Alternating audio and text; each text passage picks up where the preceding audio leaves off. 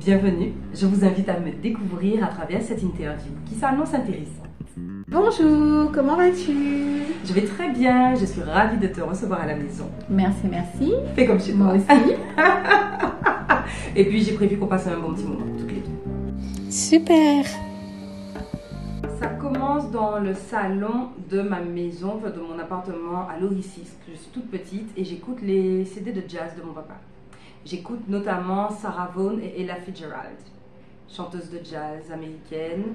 Je ne comprends rien à ce qu'elles disent, mais il y a quelque chose dans leur musique et dans leur voix qui me touche profondément. Et euh, en réalité, j'adore dire que ce sont mes premières profs de chant, parce que l'idée c'était de refaire ce qu'elles faisaient elles d'arriver à saisir les intonations, les subtilités des voix, le scat. Et je trouve ça euh, vraiment, vraiment extraordinaire. Et comment des gens qui parlent un autre langage que moi, auquel j'ai pas accès, je sais pas quel âge j'ai, mais j'ai pas encore commencé à faire anglais à l'école, on pas à comprendre à hack, vraiment. Et en même temps, il y a de la... J'entends du rire, j'entends de la liberté, j'entends de la... J'entends de la force et de la colère, j'entends plein de choses comme ça. Et je crois que... euh, c'est pas, je crois, un moment, je me suis dit, si moi un jour je dois chanter, il faut que je sois en mesure de provoquer les mêmes choses chez les gens qui m'écoutent. Parce que sinon, la peine pas. Au début, mon parcours professionnel n'a rien de musical. Euh, je fais de la musique euh, à l'école Armand Bud à quelques pas d'ici, rue de l'assainissement Pointe-à-Pitre, mais c'est du loisir uniquement. J'imagine jamais, jamais, jamais en faire un métier. Euh, je pars en France comme les copains quand j'ai 18 ans pour faire des études et je me retrouve en classe préparatoire littéraire. Je ne sais pas ce que je veux faire de ma vie, mais je suis une bonne élève, je, vais, euh, je suis un peu comme un petit mouton, quelque chose qui a l'air d'être mon chemin, même si je sens que hum, ça coince un peu. Mais en caille quand même. De toute façon, c'est pas moi qui décide à ce moment-là. Euh, J'y vais donc à Lyon, deux ans. Là, je rencontre des amis, enfin des gens qui vont devenir mes amis en tout cas, et j'intègre leur groupe qui s'appelle Panache et qui fait des reprises de zouk, compas, machin. Donc je m'éclate. Il y a une fois dans la semaine où, au milieu des devoirs, des calls, des contrôles, des bitins, j'ai un moment d'éclate et c'est avec eux. On passe de super moments sur scène et j'adore dire qu'on a fait une année la première partie de Kassav. et pourquoi? Parce que je sais plus comment s'appelle ce festival qui avait lieu à Lyon et Kassav passait. Et nous, on avait été programmés juste avant. Donc, c'est pas une vraie première partie. En tout cas, pas Kassav qui m'a dit mettez-nous là. Mais n'empêche. Et c'est la première fois que je rencontrais Jocelyne, Jacob euh, et, et tous les autres. Donc, ça, il y a de super souvenirs avec Panache. J'arrive à Paris où je croise d'autres amis et où surtout je fais la, je retrouve Jérôme Castry que je connaissais et je rencontre Stéphane Castry. On est en 2002, 2002-2003. Le temps passe, je suis euh, employée d'une librairie bilingue à Paris toujours. Je m'ennuie beaucoup. ça n'a rien d'exaltant. Mais bon, ça paye le loyer. Et à côté de ça, je peux continuer à faire de la musique de façon, euh, voilà, toujours en loisir. Je suis toujours très. euh, c'est même pas que je suis réticente à l'idée d'en faire un métier, c'est qu'il est hors de question dans mon esprit que ça devienne ça un jour.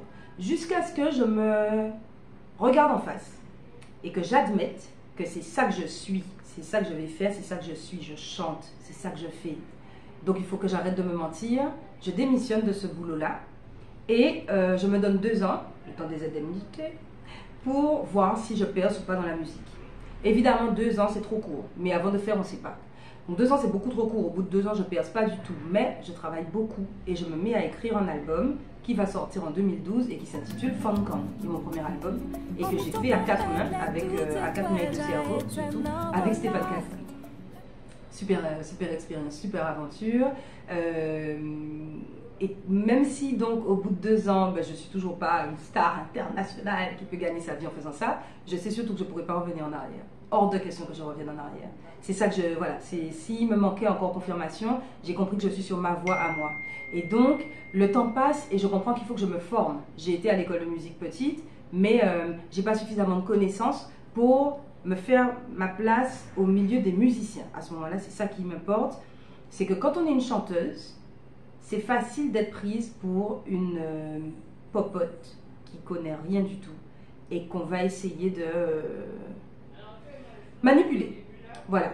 Euh, alors j'ai de la chance parce que j'ai des super, des super collègues et des super copains, euh, les Stéphane Castri, les Jérôme, les, euh, les Sony Troupé, les Thierry Vaton, etc. Et il y a toujours eu énormément de respect. Moi j'arrive, je suis la petite sœur, choyée, on m'accompagne, on m'encourage, on m'aide et tout ça. Mais il n'y a pas que en vrai dans ce milieu-là, il y en a plein d'autres que j'ai dû côtoyer et j'ai compris que le rapport de force était absolument déséquilibré. Ça venait de moi dans la mesure où je n'étais pas suffisamment assurée pour euh, imposer ce que je croyais être bon, euh, tout en écoutant. Hein. il n'est pas question de perdre en humilité, mais il faut savoir assez vite qui on est et où on va. Ça, ça aide. Et donc, retourner sur les bancs de l'école pour apprendre la théorie de la musique, euh, pour travailler avec d'autres genres de personnes, ça m'a donné cette confiance qui pouvait me manquer parfois. Ça m'a donné la légitimité. dans ce métier-là, comme dans d'autres, et surtout quand on est une femme, la question de, euh, du syndrome de l'imposteur, elle se pose mille fois dans notre parcours. moi, elle s'est posée aussi. Euh, qui te permet de faire ça? D'où tu sors que tu as le droit de faire ça? Qui comprend nous poupée euh, Ici, scène, fait nous payer pour écouter voilà, ben, toutes ces questions-là, elles se règlent aussi par... Il y a mille façons de faire, hein, mais ma façon à moi, l'une de mes façons, ça a été d'aller à l'école, d'apprendre, d'avoir de, des diplômes, euh, et de pouvoir dire, voilà, de pouvoir me dire déjà, je suis légitime à exiger ceci, à attendre cela, à espérer ceci, etc. etc. Après, alors là on est en quoi On est en 2018 je crois, quand je finis mon DEM, euh, un diplôme d'études musicales. Ensuite, ensuite, les choses commencent à s'étoffer. Alors c'est peut-être l'occasion de parler de la réalité de ce métier-là en termes économiques. C'est dur, c'est très dur. faut le savoir, c'est dur. Donc, le premier parcours du combattant, c'est pour devenir intermittente du spectacle. Et donc, euh, être reconnue euh, aux yeux de, de, l'État et des, services de, stabilisation divers et variés en tant que musicienne professionnelle. Donc, quand on est musicienne professionnelle, on pointe au chômage, il faut le savoir. Ça, déjà, euh, c'est assez c'est assez étrange. Mais c'est comme ça que ça se passe. Et euh, comme les militaires, même s'il n'y a pas la guerre, ils sont payés pour leur métier militaire. Donc moi, musicienne, professionnelle reconnue par l'État français, les mois où je ne vais pas faire 50 000 euh, prestations, je vais quand même toucher de l'argent. Pourquoi? Parce que mon métier ne consiste pas seulement à monter sur scène, il consiste aussi à préparer à travailler, à faire des répétitions, à rencontrer des gens, à élaborer euh, des stratégies de marketing, à, payer du monde qui va euh, augmenter ma visibilité, etc., etc. Et ça, ça demande des moyens, ça demande des ressources, et c'est une des choses que l'État a comprises. Et, euh, et, ce statut d'intermittent permet ça. Donc il y a un premier parcours du combattant pour obtenir tout ce qu'il faut pour devenir intermittent du spectacle. Et ça se, ça se fait, je crois, en 2018. Formidable. Et en même temps, c'est une période où je rencontre des musiciens d'autres euh, domaines. Alors, je ne l'ai pas dit, jusqu'à maintenant, je chante beaucoup dans notre communauté. Euh, communauté antillaise à Paris, je fréquente pas mal de monde dans ce milieu-là, mais il est petit et il n'est pas tout à fait structuré. Donc, c'est pas ça qui te permet de, vivre vraiment euh, de ton métier, sauf si tu es la tête d'affiche, grosse star, tout ça. C'est pas le cas de la majorité des gens, c'est normal en plus. Puis au moment où j'en suis là, j'en suis au début. Les débuts, ça dure longtemps, mais c'est des débuts. Euh, et c'est pas cette prétention-là que j'ai. En revanche, en cas de travail, qui donc, faut en trouver moyen euh, manger. Et euh, en ayant petite, faut en couper de petite là aussi, faut en payer loyer, tout ça. Donc on s'active pour ça. Et je rencontre euh, des artistes d'autres domaines. Je me mets à faire du gospel, je me mets à faire du, de la variété française, pas mal de variétés françaises. Je continue bien sûr avec nous parce que c'est ça, aimer, c'est ça un café, commencer c'est ça un café puis bien. Et, euh, et j'ai une idée parce que, je l'ai dit tout à l'heure, l'album Funcan est sorti en 2012. Donc quand on est en 2018, ça fait déjà 6 ans et nous savons à quel point nous oublions vite les gens. Donc moi je me retrouve dans cette panique là de je vais disparaître si je ne fais pas autre chose. Mais qu'est-ce que je pourrais faire? Avec le temps, j'ai compris que ma façon d'écrire, elle me, c'est un truc qui me gratte, qui me pique et qui d'un coup a besoin de jaillir. Et j'avais pas encore cette urgence-là. Donc, il fallait que je crée quelque chose, que je fabrique quelque chose. Et je me suis dit, je vais me tourner vers la facilité. Je vais me tourner vers la facilité et euh, faire des reprises. Allez, hop, je vais faire un album de reprises. Ce sera simple, ça me permettra d'avoir des subventions et ça me permettra de commencer à mettre de l'argent de côté pour un prochain projet qui me tiendrait à cœur. Et en faisant ça, je cherche à aimer Begin, à aimer la ça, ça a fait moi songer jazz à, jazz à, papa au moins t'es Donc, En cas, chez Wally Begin, et j'entends une chanson qui me. Ça fait. Euh... Le jour de Noël, c'est jour à la beauté, doudou. Moi, bois, moi, sous, moi, tombé en caniveau. C'est Wash Galé qui casse du moins oye Chérie, si vous compte moins Qu'est palais d'un bras en moins. Pas bon, moins coup, belle oh, pas bon, moins coup, doudou. Pas bon, moins coup, pas casser des bras en moins. Pas bon, moins coup, pas craser des jambes en moins. Joue là au palais, bon là, t'es savais, t'es enfant, ma body. Et la chanson me frappe parce que c'est une femme qui chante truc pareil, que je comprends que c'est une Guadeloupéenne et que je comprends que la dame a chanté ça dans les années 50. Ça veut dire que tu as une dame qui affirme qu'elle est alcoolique, qui demande à ce qu'on l'aime malgré tout, qui raconte qu'elle se fait frapper, probablement par son compagnon, Doudou. Euh, et ça, c'est des réalités qui sont encore en cours aujourd'hui c'est des réalités qui étaient déjà terribles à l'époque. Or, une femme qui chante un truc pareil, moi qui suis dans le circuit, j'en ai jamais entendu parler. On pas à comprendre. Qui j'en quoi? Donc je vais chercher auprès de mes copains, c'est qui cette Manuela Pioche? Ils savent pas trop. Ça leur dit quelque chose, mais ils savent pas trop. Donc je vais chercher plus loin et euh, comme j'ai vu qu'elle a un album avec Alain Jean-Marie, en cas crié Alain Jean-Marie, en projet pas les là, en cas crié Alain Jean-Marie, pour me monsieur, excusez-moi, il semblerait que vous ayez joué avec une certaine Manuela Pioche, j'aimerais en savoir plus sur elle. Et de discuter avec lui, d'aller chercher, ah oui, je vais chercher sur Google, Google connaît tout bitin, Google pas bien connaître Manuela Pioche. On a un problème, on a vraiment un problème. Donc, je fais cette espèce de recherche et je découvre toutes les chansons qu'elle a pu interpréter, cette Manuela Pioche. Je découvre que c'est l'une des toutes premières Guadeloupéennes à s'être produite sur scène. Ça veut dire qu'elle m'a facilité la vie.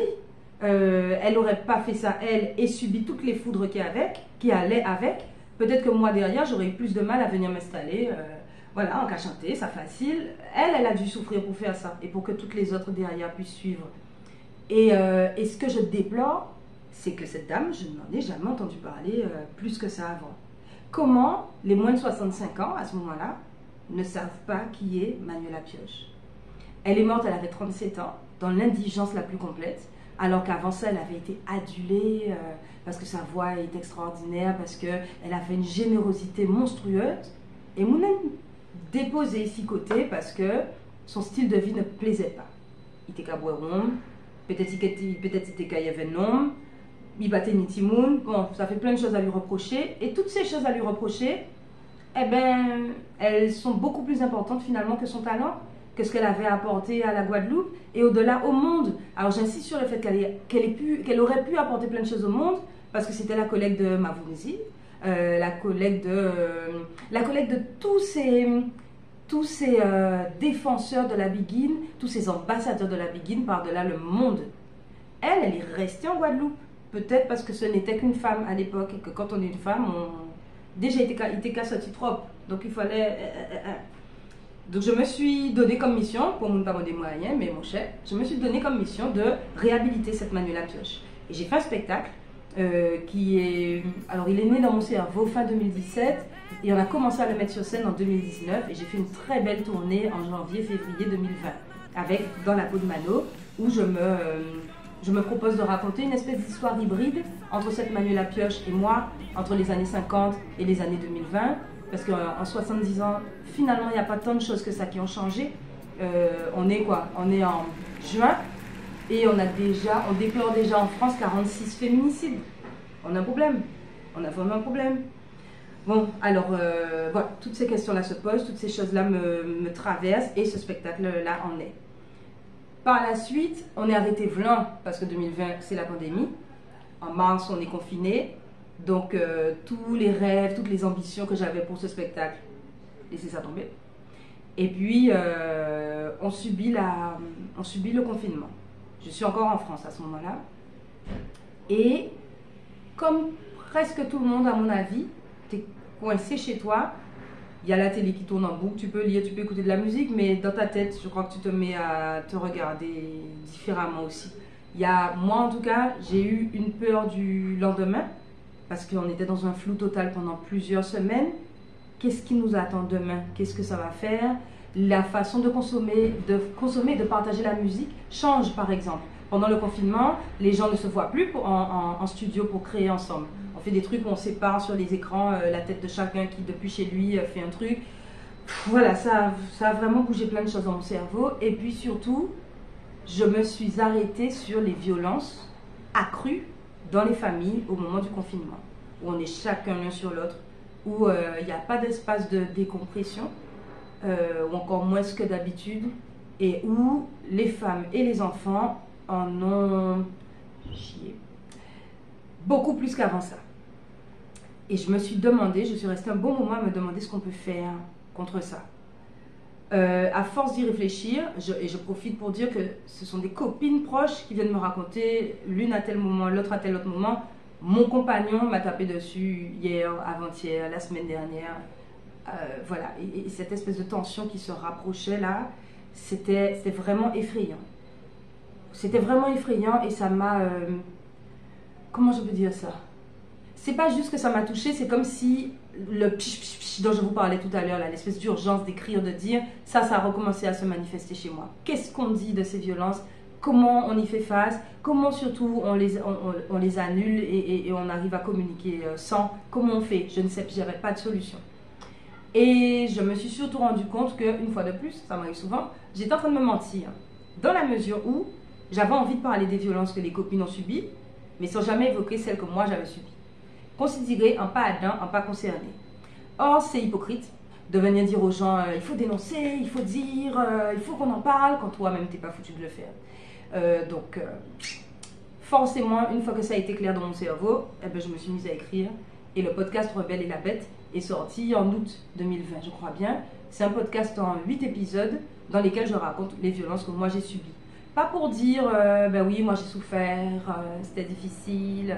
C'est pire que ça, c'est que, un, les souffrances que je raconte, on est tellement de milliers de femmes à pouvoir raconter exactement les mêmes. Et deux, eh ben, c'est justement que ça ne métabolise pas. C'est justement de savoir que nous, et j'ai envie de dire ici en Guadeloupe en particulier, on vit des choses horribles, vraiment horribles en termes de violence, et ça passe comme une lettre à la poste. Parce que nous forts, parce que nous pigons qui ça, parce que, euh, parce que nous jamais l'habitude, chez Marie c'est pour battre, euh, oui, mais bon, tu vois, il vaut mieux subir ça avec un tel plutôt que d'aller chercher ailleurs et être seul. On a plein de, de, de hum, je sais même pas comment appeler ça, moi, des, des biais. On a peut-être plein de biais qui font qu'on subit l'innommable, des choses qui ailleurs seraient absolument inadmissibles. Euh, et qu'on va s'en regorger par la suite. Voilà, moi, moi, je suis une femme solide, je peux supporter ça. Alors moi, j'ai pas envie d'être une femme solide qui peut supporter ça. Moi, j'ai envie d'être une femme sereine, heureuse, euh, rigolarde. Voilà, c'est ça que je veux. Je veux pas euh, avoir à dire c'est bon, je coche. Alors, on m'a violée, super, j'ai survécu. Euh, on m'a battu, super, j'ai survécu. Oh, c'est bon, on peut continuer. Non, est-ce qu'on peut pas renverser ça, renverser ça? Et donc, le propos de mon podcast, c'est de dire, moi, je vous raconte mes affaires.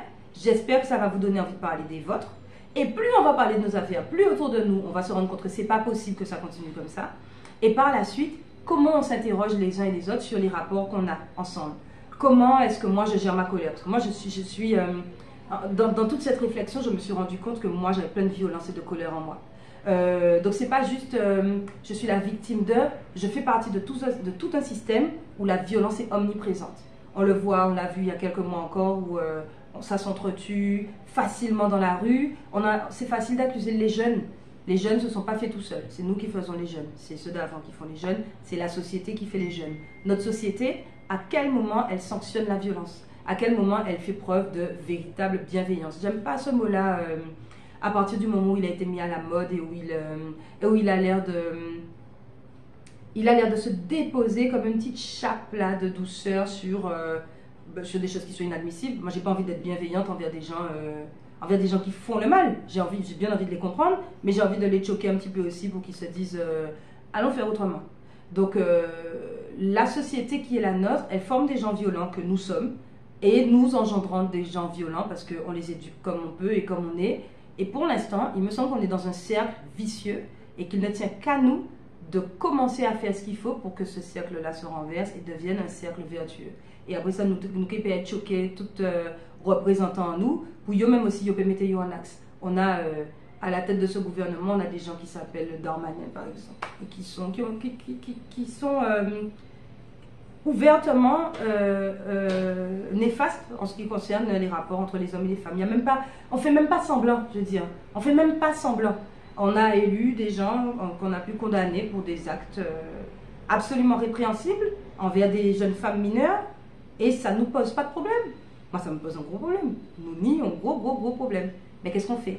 Est-ce qu'on se lamente? Est-ce qu'on pleure? Est-ce qu'on accepte le truc et on continue? Ou est-ce que nous, en profondeur, on se regarde on, se, on fait notre propre bilan de cette euh, façon de s'adresser les uns aux autres? Ou, euh, voilà, moi, c'est ce que j'ai choisi de faire. Et ce podcast-là, il servait à ça. On est là en 2020. Et puis, pour arriver en 2023, alors en 2000, fin, 20 fin 2020, je décide qu'il est temps que je rentre chez moi. Parce qu'il y a plein de choses à faire chez moi. Je fais, euh, je retrouve plein d'amis, militants aussi, dans plein de domaines différents. Et avec eux, je rentre à l'ANG. Euh, J'en parle là parce que ça fait partie de mon parcours, que c'est important, je pense, de, souligner ces éléments-là. L'ANG, mouvement politique, euh, moi je suis pas une femme politique. C'est pas du tout un truc qui me parle. Le, le, ça me passe au-dessus de la tête. Jusqu'à ce qu'on me fasse remarquer que ce que je fais concrètement, c'est de la politique. Euh, faire passer des messages, à travers mon art, essayer de d'influencer euh, les mouvements de la population, de ma société, changer mon monde en espérant changer, voilà, en espérant que ça, que ça essaie, mais que ça change encore plus de choses autour de moi, c'est politique. Euh, se positionner contre les violences faites aux femmes, contre les violences entre les hommes et les femmes, se positionner pour la culture, parce que je crois que c'est important, je crois que c'est super important, la culture, comment est-ce qu'elle nous forge, comment on, s'en sert pour... Euh, forger notre identité? Et comment, dans un pays comme le nôtre, les artistes sont considérés? Je trouve que ça, c'est une question intéressante. Parce que, comme le pays est petit, tous les gens, on les connaît plus ou moins. Un tel, un tel, fille, un tel, on connaît lui. Donc, parce vous connaissez fille, un tel, ou pas bail, valet C'est trop, c'est difficile, c'est compliqué, c'est, ah, ça pique.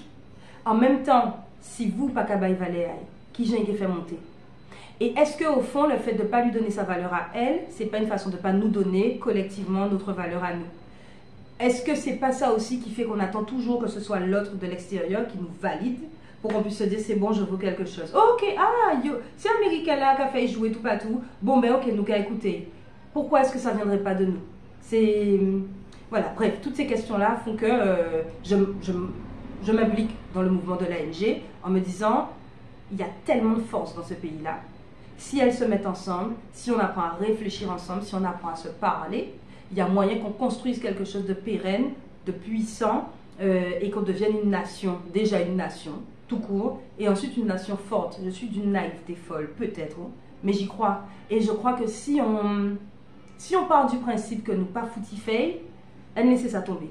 Oh, ça va pas avec moi. Alors, il y a plein de choses à dire. J'ai l'impression en plus que ce sont des choses qui s'entrechoquent. Moi, je trouve que la, mus la, musique aux Antilles, elle est vivace. Depuis Nani Nanan, elle est vivace.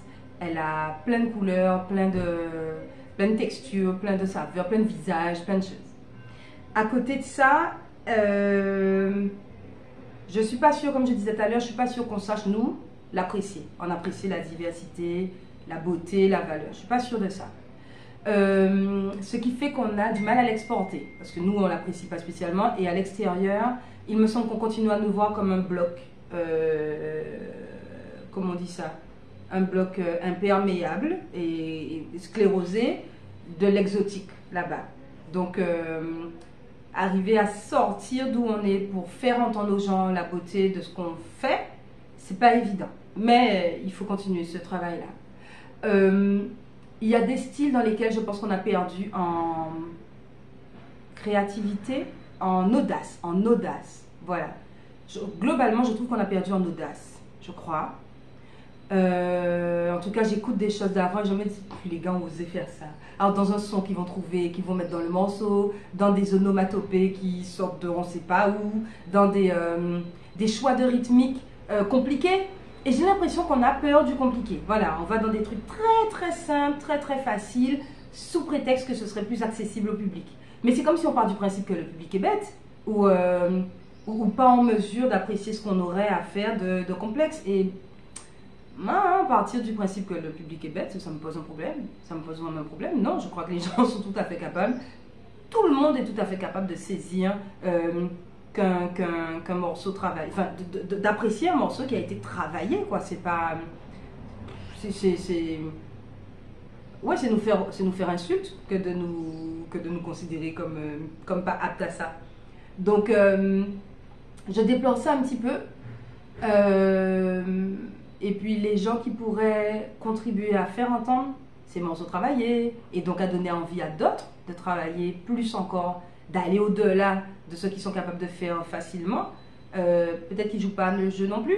Peut-être que peut-être qu'arriver à diffuser ici même quand on fait, euh, ben, sais pas moi, quand on prétend faire de la musique, c'est difficile. En tout cas, c'est pas si évident que ça. Je sais pas comment c'était avant, euh, mais il me semble que c'était plus facile à la radio d'entendre des choses, euh, ouais, qui allaient dans tous les sens, qui t'ouvraient l'esprit, euh, qui rajoutaient des couleurs et tout ça. Oui, je crois que c'était beaucoup plus simple. Maintenant, il faut écouter les radios de nostalgie. Hum, hum, hum, Faisons-nous confiance et, allons continuer à creuser. Euh, je disais tout à l'heure que comme on, va, c'est comme si on va vers le bas. Et donc, euh, il n'y a pas d'émulation, il n'y a pas suffisamment, à mon sens, d'émulation pour se dépasser, pour faire encore mieux. Je ne parle pas de compétition, mais je parle d'un truc où euh, tout le monde se tire vers le haut, tout le monde a envie d'aller, et quels que soient les domaines, qui bouillon, qui zouk, qui jazz créole, qui tous ces ça, j'ai envie que ça monte encore, encore et encore. Euh, qu'est-ce que je peux dire de ça encore? J'ai jamais abordé la musique comme euh, je veux faire tel style, tel style ou tel style. Moi, elle m'est venue comme j'ai envie de chanter qui je suis. Or, en tant que Guadeloupéenne, je suis plein de choses. Je suis plein de choses, je suis plein de musique, je suis plein de goût, je suis euh, plein de, je suis plein de personnes, je suis plein de rêves, je suis plusieurs histoires, je suis un paquet de, je suis un paquet de colère, je suis un paquet de, des aveux, de, ouais, et, chacun d'entre nous, à mon avis, est ça. Euh, chacun d'entre nous a envie de dire, pourrait vouloir dire ça dans sa musique. En tout cas, c'est ça qui me, c'est ça qui moi me, ouais, m'habite, me nourrit et me guide vers vous. Euh, parce que quand moi je chante toutes ces choses-là, je sais que je vous parle, parce qu'on raconte, on se raconte la même histoire. Donc, en nous. Et quand vous réagissez, je sais que je ne me suis pas trompée. je, ne, je refuse de cracher sur la musique que moi-même je vais estimer euh, juste de, bon, juste à des guillemets, juste de, de détente, parce que ça importe autant. Le truc où tu secoues ta tête, où tu secoues ton rein, tes fesses, ça importe autant. Mais il n'y a pas que ça. Voilà, pour moi, c'est tout un panel et j'ai envie que le panel se remette à être fleurissant, euh, florissant, euh, énorme, euh, bouillonnant, extraordinaire. Et il y a plein de gens qui sont en mesure de faire ça. C'est quels moyens on leur donne pour qu'ils puissent le faire et qu'on puisse les entendre. Et quels moyens on se donne collectivement pour que la population puisse se nourrir de tout ça? Voilà, moi c'est parmi mes combats, il y, a, ça aussi. Quand je vais avec une bande de copains prendre le centre des arts qui ne nous appartient pas, mais qui devrait nous appartenir, c'est pour dire ça. C'est pour dire, en matière de politique culturelle, il me semble qu'on n'est pas tout à fait au top. Il me semble que euh, euh, nos, dirigeants ne sont pas en train de, euh, ensemble, décider d'un chemin qu'on doit prendre. Ou alors, s'ils ont décidé d'un chemin, ils ne nous tirent pas vers le haut. les artistes en Guadeloupe meurent de faim pour la plupart d'entre eux. Je ne parle pas encore une fois des... Et encore, si, je vais même parler des têtes d'affiche et des gens qu'on connaît bien. Voilà, il y a plein de gens que vous applaudissez, que vous allez voir régulièrement en concert, euh, avec beaucoup de plaisir, et qui meurent de faim, qui n'arrivent pas à nourrir correctement leur famille, ou qui serrent les fesses quand la fin du mois arrive. Même, ah, pas même à la fin du mois. Le 4 du mois, là, j'arrête. Ça, j'arrête de bander, vraiment. Parce que on ne fait pas, on, collectivement encore une fois, nous ne faisons pas ce qu'il faut pour que nos artistes sortent de la précarité. Alors on peut leur suggérer de prendre un travail à côté, bien sûr, oui, un travail qui va t'épuiser et qui va te prendre toute ton énergie, qui fera que tu ne seras pas au top de toi-même quand tu devras réendosser ton rôle d'artiste. Donc, euh, il faut peut-être commencer par euh, se rendre compte qu'être un artiste, c'est un métier. C'est pas, euh, c'est pas juste du plaisir, c'est pas juste un passe-temps. C'est un métier. Il ka mande yo force, il ka mande yo énergie, il ka mande yo intelligence, il ka mande yo, euh, il ka mande yo réseau, il ka mande moyen, il ka mande créativité, il ka mande temps, il ka mande temps, il ka mande temps, il euh, il ka mande des autres. Sans vous, ça marche pas.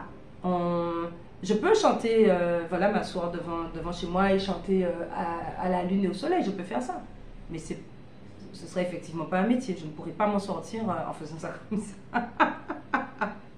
Donc il y a plein de choses à faire pour que la musique en particulier, les arts en général dans ce pays-là, euh, prennent toute leur place. Je crois aussi que pour que ça fonctionne, il faut que nos dirigeants toujours, alors, je parle de nos dirigeants pas parce que j'ai besoin de quémander pour que eux fassent. J'estime que moi je fais.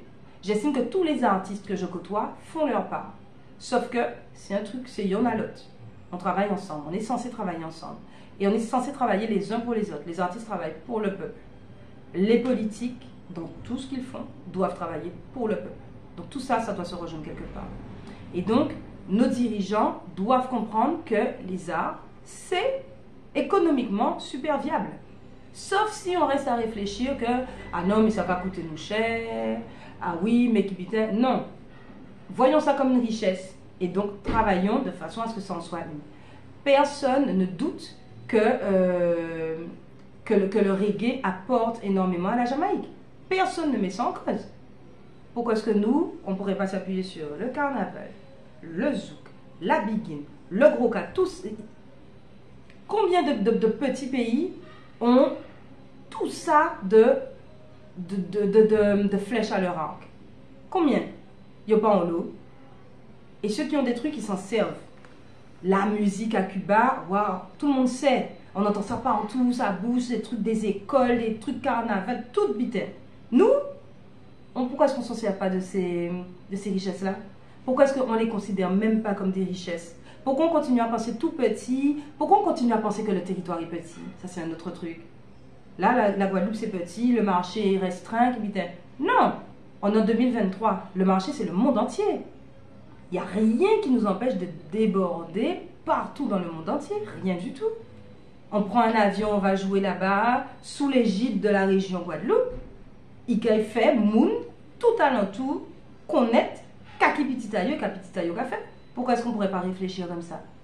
Donc euh, voilà, je crois qu'il y a plein de choses à changer dans l'esprit de chacun, dans l'esprit des artistes, pour qu'ils prennent conscience de leur force, de leur puissance, de leur importance, dans l'esprit de la population, pour qu'elle se mette à euh, aimer, comprendre, mais il faut qu'on se parle pour que, pour que ça fonctionne, mais comprendre l'importance, encore une fois, de la culture pour, pour- pour chacun d'entre nous, depuis nos tout petits jusqu'à nos vieux, comment est-ce que tout ça nous porte, nous nourrit, nous, nous, nous maintient en vie et se transmet, et dans la tête de nos politiques qui doivent admettre et, et jouer leur rôle. Il faut qu'ils jouent leur rôle aussi.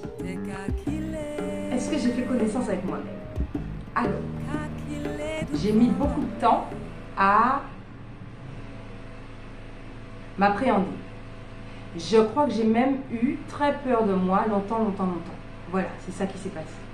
Euh, ne me connaissant pas, parce que euh, parce que j'ai pas l'impression que ce soit dans nos, dans nos mœurs de savoir qui on est. Je crois qu'on on suit des rails qui ont été déjà euh, dessinés. Oulé, oulé, va, va, va faire des études. Tu es pas bête, donc tu peux faire euh, des maths. Tu es pas ici, donc va par là. Toi, tu n'arrives pas, à avoir la moyenne là, donc euh, fais de la couture. Enfin bon, on suit des trucs sans réfléchir. Euh, ça explique que j'ai mis 28 ans avant de me avant d'admettre que j'allais faire de la musique, par exemple. Je me suis menti sur ce plan-là pendant 28 ans. Euh, où est-ce que je ne me connais pas encore? C'est, en tout cas, à cette période-là, et pendant longtemps, c'est mon rapport avec les hommes. Ce qui a bien alimenté le podcast. Je ne sais pas qui je suis, donc je ne sais pas où est-ce que j'ai le droit de dire oui, où est-ce que j'ai le droit de dire non. Je ne sais pas euh, si on va continuer à m'aimer, si je fais comme si.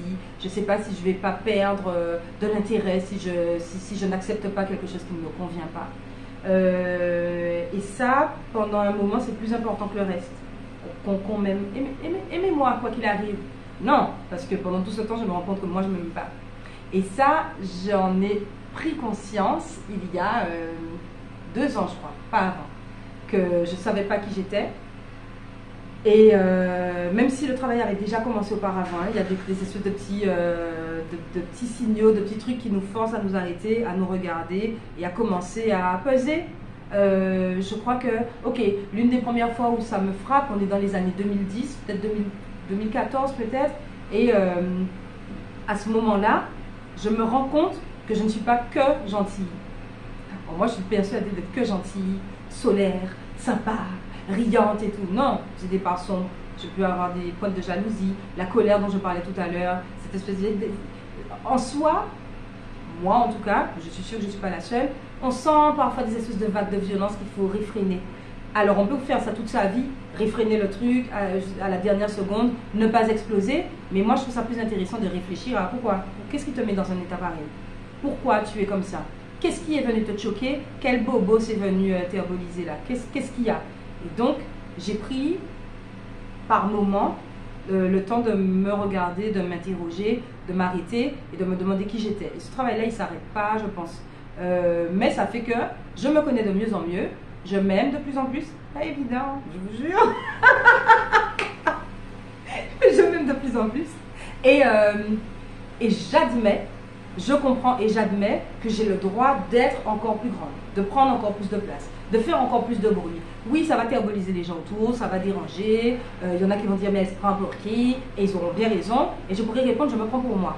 Mais tant que je ne sais pas qui je suis, je ne peux pas me prendre pour moi. Je vais essayer d'emprunter le costume de machin, de, de chanter comme truc, de m'habiller comme euh, une telle, de ne surtout pas ressembler à, à, chose. Et dans tout ça, moi, je ne prends pas ma place. Et c'est dommage. C'est dommage. Je souhaite que chacun d'entre nous ose être lui. Euh, ose sortir d'une histoire de couple qui ne lui convient pas parce qu'elle le tue. Même s'il y a des enfants, parce que cette idée de euh, oui, on est ensemble, on reste ensemble pour les enfants, ça tue les enfants aussi. On le sait très bien, on sent, les enfants, les enfants sentent euh, beaucoup les choses, ils sentent les tensions, même si on fait belle figure, même si on fait comme si, ils sentent très bien ce qui se passe. Et donc on les détruit, euh, c'est pas ça qu'on veut, c'est involontaire, mais on les détruit et on continue à se détruire soi et probablement à détruire l'autre qui est avec nous, qu'on pense ménager, qu'on pense aider. Donc euh, permettons-nous d'être pleinement, quittons un travail qui ne nous va pas, jetons-nous à corps perdu dans un, eh ben dans un, dans un domaine qui, nous intéresse, qui nous appelle, même s'il n'est peut-être pas si stable et rassurant que ça. Je ne suis pas en train de dire euh, ben, tous ensemble sautons de la falaise et mourons joyeusement. Mais ce que je veux dire, c'est que je suis sûre que sauter dans la cascade, en Pékin fait ça dans la vraie vie, mais sauter dans la cascade et se jeter, c'est une expérience qui vaut vraiment la peine ça vaut vraiment la peine de vivre. Ça dure pas longtemps, il euh, faut aller à 110 ans à tout casser, euh, on n'a rien demandé. On est arrivé là, on n'a rien demandé, en vrai. Pourquoi est-ce qu'on n'en profiterait pas à fond, au maximum? Voilà, moi j'ai décidé que je vais vivre ma vie aussi fort que possible, mais pour ça, il faut que je sache qui je suis, en fait. Pas vraiment. Je me rappelle de mes premières scènes, grosso modo, je pense. Je suis à l'école de musique Armand Bud et c'est génial. Tous les trimestres, on a un spectacle. Euh, je trouve ça génial parce que ça met les enfants, les élèves, dans une dynamique de ce qu'on apprend, c'est pour l'offrir. C'est pas, euh, pas juste euh, répéter son cours de piano chez soi, le préparer, aller devant le prof et que ça sert pas. Ça sert. On rentre dans des groupes, on chante dans la chorale, les parents viennent applaudir. On a même des prix. À la fin de l'année, on avait des prix. J'ai gagné une chaîne IFI, quoi, une année. et elle fonctionne toujours. Donc ça, je, trouvais ça génial. Et alors, le troisième concert de l'année, le, concert de fin d'année, il se joue au Centre des Arts. Je ne sais pas si vous vous rendez compte, mais euh, on est des enfants et on est sur la grande scène du Centre des Arts pour donner un spectacle chaque année, comme si, euh, comme si c'était normal. Et rendez-vous compte qu'aujourd'hui, il n'y a plus de Centre des Arts. Ça veut dire qu'il y a très peu d'endroits finalement où ce truc-là, cette facilité à accéder à la scène, à la diffusion, à l'échange, euh, ouais, il n'y a, plus ça, il n'y a plus ça, euh, il a plus cet accès euh, aussi, aussi évident. Donc c'est peut-être l'occasion aussi de saluer tous les gens qui ont voulu que ça, ça existe. Et, et d'encourager ceux qui pourraient faire en sorte que ça recommence, avec plaisir. et donc, mes premières scènes, elles se jouent là. Je me rappelle que je joue, que je chantais une chanson qui s'appelle Satin Doll. Euh, parce que j'étais, jazz, jazz, jazz à fond à l'époque. Et euh, parce que je me, me rappelais le tout, je pense que je jouais ça avec un, un pianiste. Cigarette holder, which wakes me over her shoulder. She digs me, sweet Latin, my satin doll. go, out skipping, careful amigo. You flipping, sweet Latin, my satin doll. She's nobody's fool, but I'm playing it cool as can be. I give it a whirl, but I ain't for no work catching me. Switch and Rooney, elephant you go. Do da big da do da di do. Be a and that ain't my satin doll. J'ai oublié la moitié des paroles, hein, voilà. Vous me pardonnerez. Et ça, ça doit être l'une des premières chansons que j'ai chantées sur scène. Et, euh, et l'autre truc dont je me rappelle, c'est que quand on était au Centre des Arts pour ça, on s'appropriait l'endroit. On connaissait par cœur les couloirs, les coulisses, les euh, cachettes, les montées, descentes. Et ça aussi, dans ma construction, c'est important. C'est comme si c'était déjà les prémices de le lieu de spectacle, c'est chez moi. Il y a un moment où le lieu de spectacle t'appartient et tu le prends tout entier, c'est à toi. Et euh, d'autant plus qu'il y a une année où j'avais croisé Tania Saint-Val, euh, que je regardais comme ça et qui m'avait fait un autographe. Donc ces souvenirs-là, ils sont... Euh, ouais, je les chéris parce que, parce que ça m'a construite aussi dans l'artiste que je suis aujourd'hui. Je m'en rends compte en, le disant là, mais ça m'a construite dans l'artiste que je suis. Alors, ça n'a pas été facile à retrouver. Je parlais du spectacle Dans la peau de Mano où on rend hommage à Manu Lapioche. On est à Bouillante, dans une salle qui s'appelle l'Atrium, qui est... Euh, oui, elle fait partie des quelques salles en Guadeloupe qui, proposent des espaces, mais c'est pas... Euh, c'est pas aménagé pour, on, s'organise et, c'était super, c'était une des super scènes qu'on a faites avec ce spectacle-là. Et donc, comme c'est pas aménagé pour, les loges sont à côté, elles sont... Euh, on, est caché du, public par des paravents. À un moment donné dans le spectacle, on entend la voix de Manuela Pioche qui sort de, là-haut, là-bas. Les musiciens lèvent la tête au ciel pour lui rendre un hommage encore plus appuyé. Et au moment où ça se passe, à l'atrium, il y a un coup de vent phénoménal qui jette tout par terre. Et tout le public qui s'est dit, boy, boy, mi est à Manuela la pioche qu'il a je ne saurais pas dire que c'était pas vrai. Je ne pourrais pas dire que c'était pas vrai. Parce que c'était tellement à propos, tellement euh, surprenant, tellement. Voilà, j'ai adoré ce moment-là. Et euh, eh ben, si je peux faire un deuxième, si je peux dire un deuxième, toujours dans cette tournée Manuela Pioche, on est à Moule, euh, salle Robert Loison, pour une, une représentation senior. Elle a lieu à 16h. On a majoritairement des personnes âgées qui sont venues voir. Et pour moi, c'est d'autant plus important et intéressant que ces gens-là ont connu Manuela Pioche de son vivant. Ils l'ont vu, ils l'ont entendu, ils lui ont peut-être même parlé. Et c'était le public le plus extraordinaire de tous. Parce que c'est Mouna, es en spectacle là, considéré a regardé Amour, gloire et beauté. Et il a commenté, il a kibité. À un moment, je suis censée être en larmes et trucs, mais les gens me font mourir de rire. si on était fait 26 avec moi, il était là. Donc voilà, je note ces deux, ces deux super souvenirs-là. Je remercie Manuela Pioche dans la peau de Manu pour ça parce que, ouais, ça fait des moments fantastiques sur scène, ça fait des trucs qui, euh, même ça a passé, ça a fini, ça va pas se reproduire, il n'y a jamais. Euh, il a jamais deux fois le même spectacle, il n'y a jamais deux fois le même moment euh, avec le public. Et, ben ça continue à, à, nourrir, à faire du bien, à faire plaisir. Et ça veut dire que ça vous fait un travailleur, il bon, les gens ont besoin de ça, les gens ont besoin de, les gens ont besoin d'avoir tous ces espaces où tout est possible. Voilà, le fantastique s'invite. Soyez vous. Osez être vous. Osons être nous. Voilà, c'est ça mon message universel. C'est euh, sortons-nous des, euh, des conventions tant qu'elles nous empêchent d'être nous. Oui, c'est difficile. Euh, c'est probablement utopique, c'est probablement dans la tête de plein de gens complètement fous, mais je crois qu'on n'est jamais plus heureux que quand on est soi. J'ai rencontré un gars extra il y a un an et demi, il s'appelle Stargy. C'est un rappeur que vous connaissez, j'espère, dans la mesure où, entre autres, il fait partie des précurseurs du rap créole ici en Guadeloupe. Et euh, on se connaît depuis un moment, mais il y a un an et demi, on s'est rapprochés pour commencer à travailler ensemble. Il y a plein de chansons qui sont nées de cette rencontre et surtout l'envie de faire un nouveau spectacle. Et c'est ça qui est en cours en ce moment. C'est ça qui est sur le feu.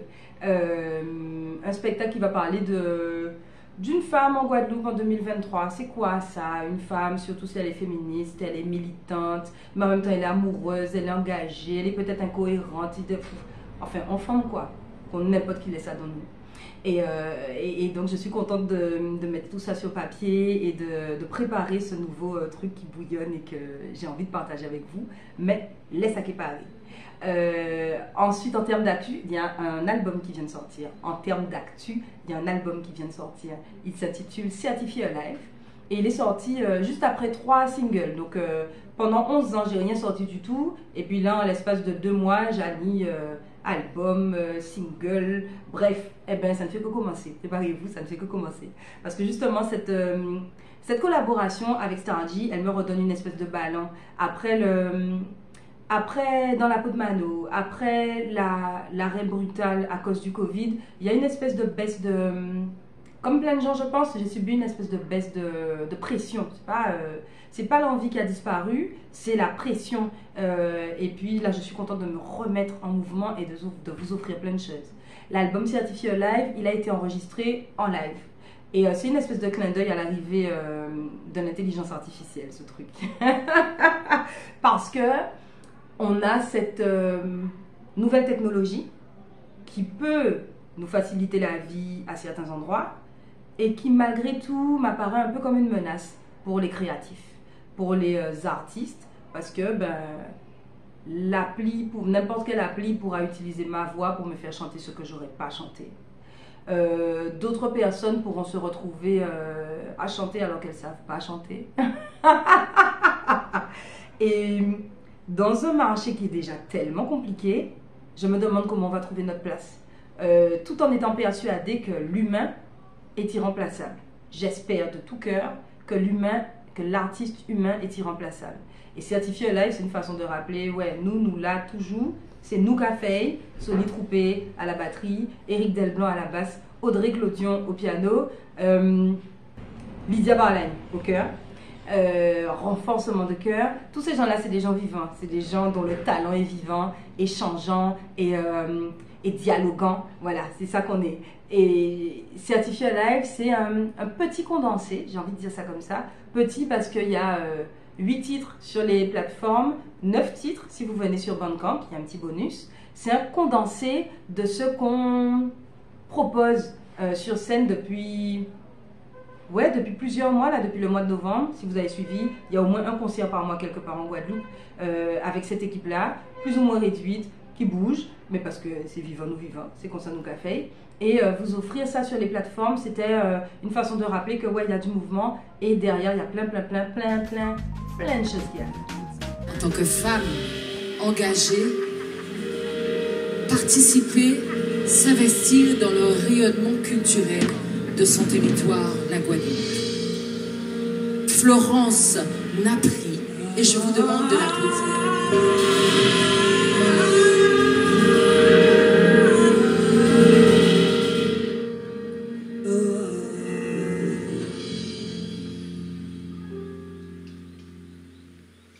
Le jour de Noël, c'est voilà. Bonne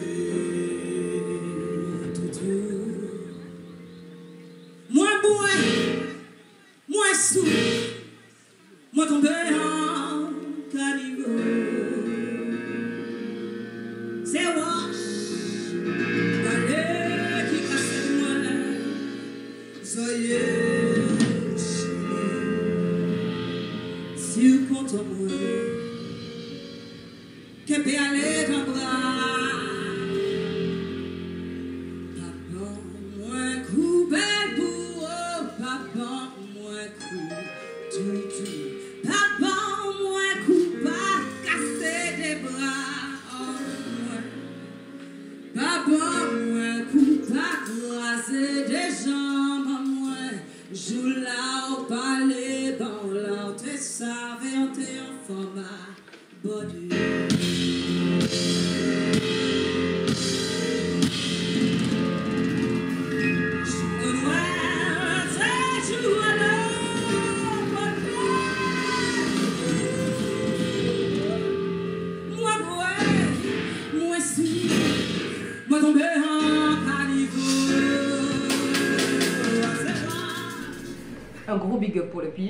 Merci à Cynthia.